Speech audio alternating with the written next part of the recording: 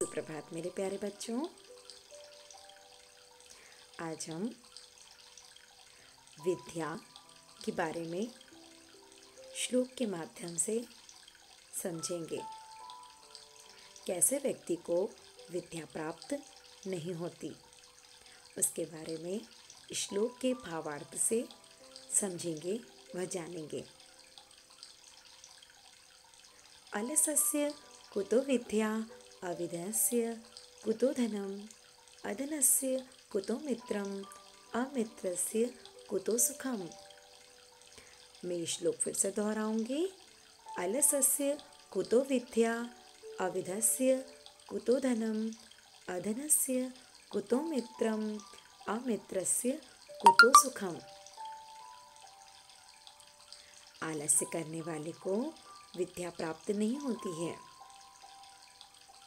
जो बच्चा सोचता है, मैं आज का कार्य कल कर लूँगा, कल का कार्य परसों कर लूँगा तो वह अपने लक्ष्य में सफलता प्राप्त नहीं कर सकता।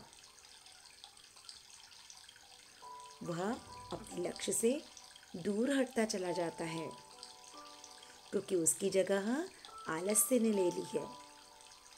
आलस्य सबसे बड़ा शत्रु है। वह अपनी पढ़ाई को टालता है और जिसके टालने से वह कुछ सीख नहीं पाता, कुछ क्रिया नहीं कर पाता, उसके मन में इच्छा, जिज्ञासा, रुचि की जगह आलस्य भर जाता है, जो हमें अपने लक्ष्य से कौशल दूर कर देता है। मनुष्य के शरीर में आलस्य स्थित होता है। हमें उसे दूर भगाना चाहिए। आलस्य को हमें अपने आप से दूर रखना चाहिए। पर हम उसे, अगर कोई भी कार्य है हमारा और हम उसे टालते चले जाएँगे तो हम आलसी हो जाएँगे।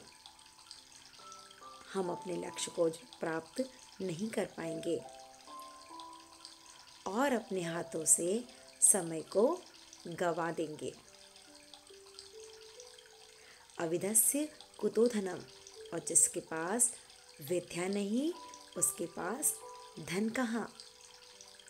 अगर हम विद्या प्राप्त नहीं करेंगे, ज्ञान प्राप्त नहीं करेंगे, हम कुछ सीखेंगे नहीं, और हमें कुछ कुशलता नहीं आएगी किसी भी कार्य को नहीं करेंगे तो धन की प्राप्ति भी नहीं होगी।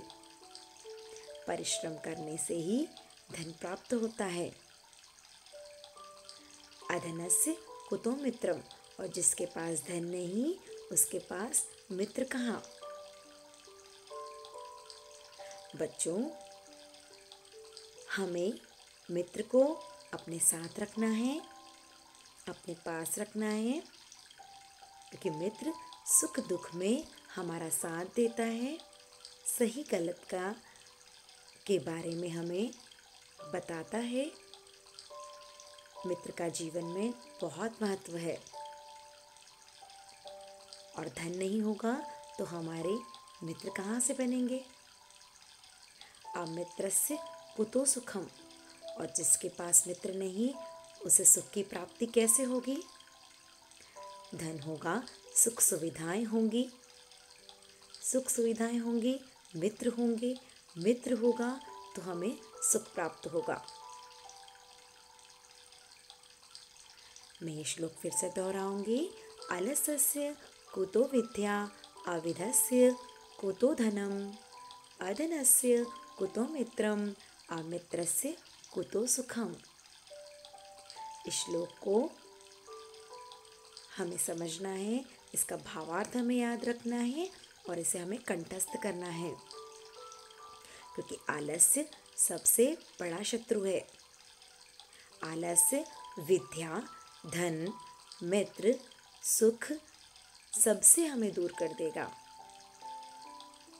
जीवन को उच्च लक्ष्य तक ले जाना है। जीवन में कुछ बनना है, कुछ प्राप्त करना है तो हमें आलस्य को दूर भगाना होगा और अपने लक्ष्य को प्राप्त करके हमें आगे बढ़ना होगा।